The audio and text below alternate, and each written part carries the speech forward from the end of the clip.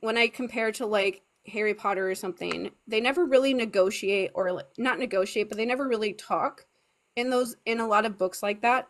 Like the that the place that they are at that is seen as like a safe place or a good place also has problems within it. Like they never talk about how absolutely fucking absurd it is that if you are in Slytherin, you are automatically labeled as a villain to the point Yeah. that they are sent away during the last battle and they don't even get to try to help to save their their school and their friends and all this kind of stuff. It's just such a simplistic asshole fascist way of doing it. And like you're you're not supposed to question that when you're reading those books. It's very obvious that you're Mhm. not supposed to, right? Yeah. But everybody does.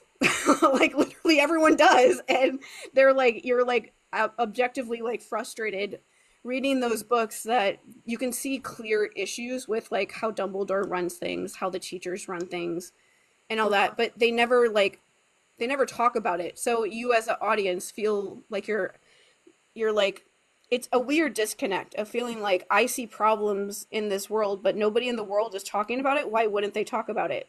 It just it takes you out of the story, and it Mhm. makes you like it just makes you like break the fourth wall basically of this world because the world isn't questioning itself when they should be.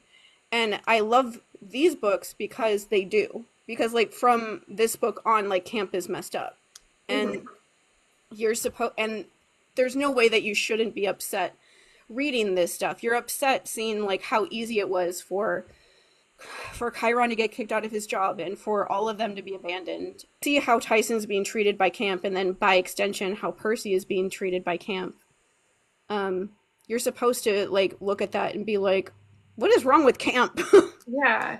like well, to go back to Harry Potter, though, the movie version is they lock up all the Slytherins. The Yeah. book version was, I think McGonagall says you guys have a choice to make, knowing that she's sending the Slytherins in to fight their own parents for the most part.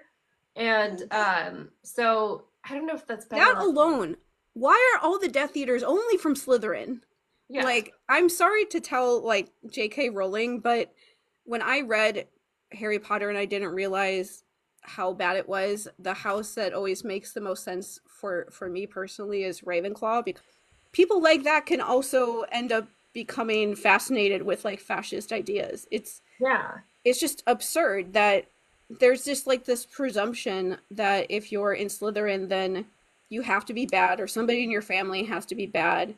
And like Gryffindor can have really bad people too. Like if you're caught up on like being the hero, hmm you can be so obsessed with that that you end up becoming doing like horrible monstrous things because it gives you attention. Like what's his face?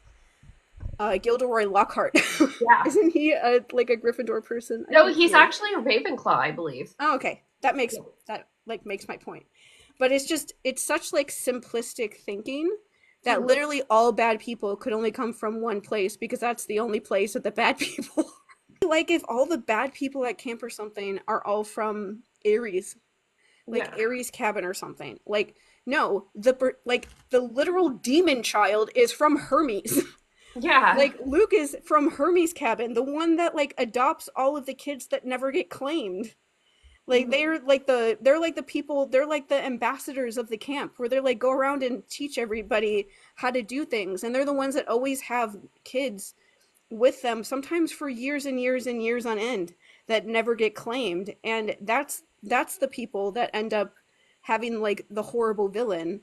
Hmm not like not a cabin that you would maybe expect it to be. Like Clarisse even in this book like Clarisse is mad because because she doesn't want to be like owned up by by Percy of all people after what happened with Ares Yeah. but she still is like upset. She's like we have to protect the camp. I don't want to I don't want to do this like I want to protect the camp like why are you why are you telling me that we can't like I don't want to even when she's yelling at Percy she stops and be, when they tell her like some of your siblings are hurt and she immediately stops hmm like she's not like a she's not like Draco Yeah. at all. She's not at all like him in any way. Like she does care about people. She even cares about Percy. Like she doesn't want Percy to die or anything like that.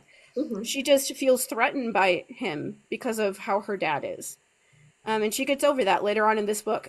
so and that's a lot fine. more honest than Draco's like uh, Harry saves his life a couple of times and then he goes straight back to being evil. Like Hermes' cabin is never looked under suspicion by Yeah. anyone ever. No one ever looks at the kids in Hermes as if they are now dangerous and could be the villains or bad or untrustworthy either. Um, the only way that that really comes up is that in later books, when kids start leaving camp to join Luke, like people are afraid that people in Hermes' cabin will join him because that's their sibling and he knows how to, you know, manipulate them into like, the joining. cabin Yeah, possible for every kid in every cabin could be like, you know, um, recruited by Luke.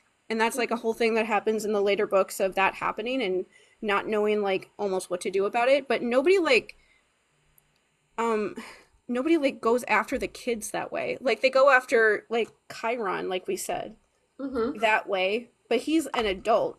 There's nobody like purposely going after like literal children and being like, we don't trust you as a whole anymore because you're in Hermes' cabin and Luke was in this cabin. This means that you're like suspicious, or even that Hermes is suspicious. Nobody does that because it would be absurd.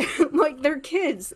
They they haven't done something wrong just because Luke happens to be related to them. And it's the same kind of thing of like the whole Slytherin weirdness of like just because they're in Slytherin and Voldemort was in Slytherin doesn't mean everyone in Slytherin wants to be a Death Eater. Maybe you guys treating them so badly is the reason why they all become Death Eaters. Mhm. Have you thought about that? No. I know that J.K. Rowling has not thought about that for one second of her life.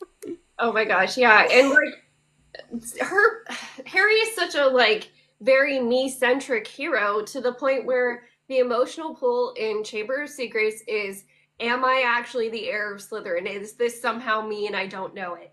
And then Prisoner of Azkaban, it's oh, I'm uncovering things about my parents' death, not that there's a potential serial killer out on the loose. like it's never Harry's pull is never the right thing, whereas mm-hmm. Percy is kind of pulled in the direction that makes more sense. That's like I want to protect this camp that has become my new home. I want to protect these people, even if they don't fucking care about me because they're my people.